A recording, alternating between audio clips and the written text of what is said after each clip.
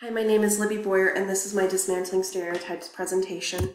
For my movie, I chose The King's Speech, which is a movie uh, based on the true story of King George VI and his struggle with his severe stutter as he was thrust into ascending the throne by the death of his father and the abdication of his older brother. His work with speech therapist Lionel Logue to help him with his duties of speaking in public and especially speaking to the people and giving them hope and confidence in him and in the monarchy as Germany declared war.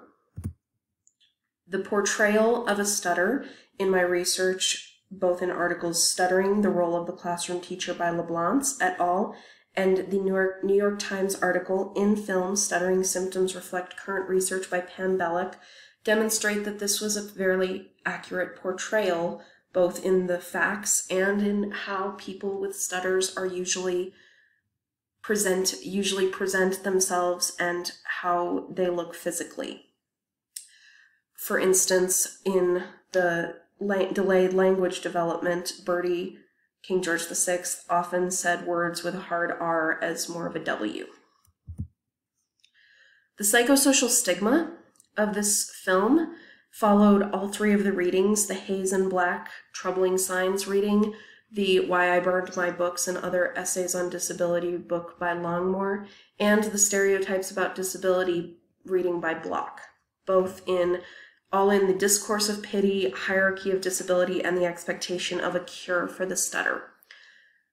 He was trapped by his stutter. He was often told he was not trying, felt hopeless, different, and in a sense, he was still confined by his stutter at the end because stutters are never necessarily cured, but he certainly got, gained more control over it. The treatment seemed to be working. He felt more confident and was given methods and techniques that could help take his focus away from his stutter instead of being yelled at and told to focus so much on controlling his stutter that it made it worse.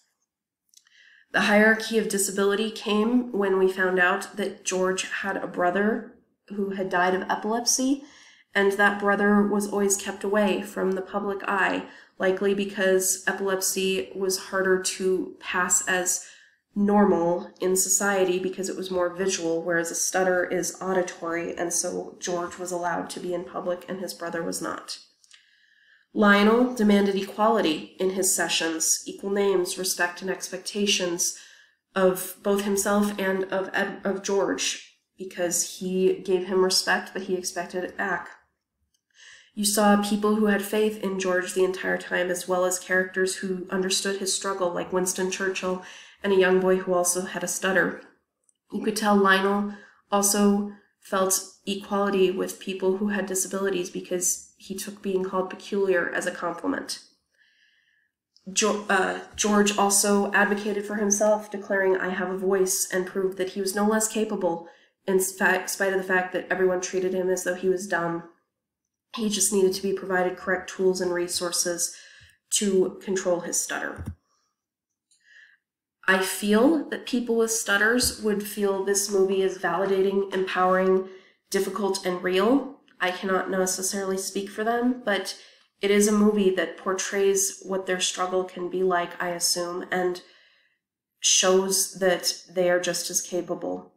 People without stutters, it's very introspective, eye opening, and creates awareness of the fact that so many people do struggle with getting their speech out in ways that we cannot not necessarily understand.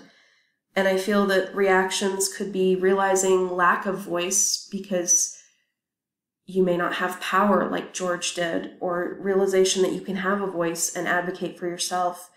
I think accuracy was a huge implication because it shows true stutter awareness and uh, but also the pity because the discourse of pity was there and struggling with trying to make sure we don't pity people who have disabilities just ask how we can help and advocate with them I feel my learning experience was valuable because I have personal awareness now of the different uh, speech disorders that others can have. I'm desiring to learn more and I'm feeling like I can prepare myself more for my classroom and I feel changed because I know that I struggle with patience, and I know that that's something I need to focus on when I apply in my classroom.